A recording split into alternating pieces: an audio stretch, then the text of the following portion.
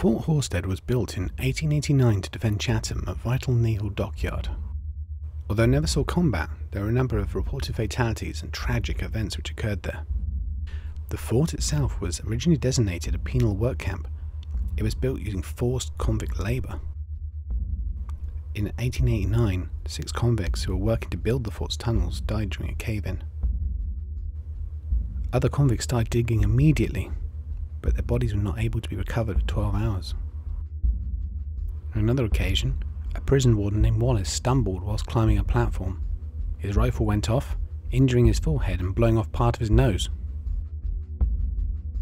The fort's history seemed a good starting point for an investigation, during which we recorded many strange events, but none as strange as the object manipulation you're about to see. Deep inside the fort are a number of water tank rooms. These are underground, connected by a single tunnel. A parabolic dish was set up on a tripod, recording audio coming from the tunnel.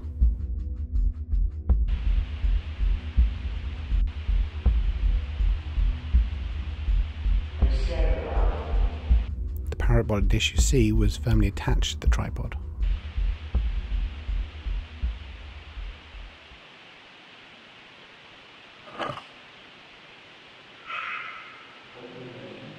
There was no wind in the chamber, and the parabolic audio did not pick up any noise prior to the movement.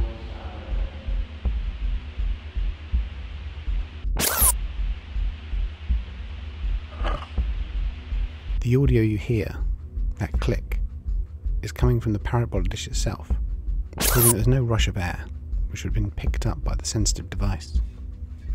Considerable energy would have been needed to move this object.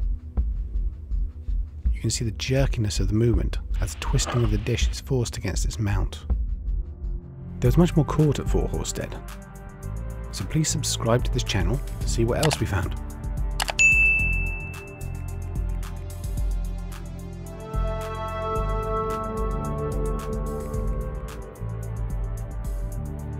Thanks for watching.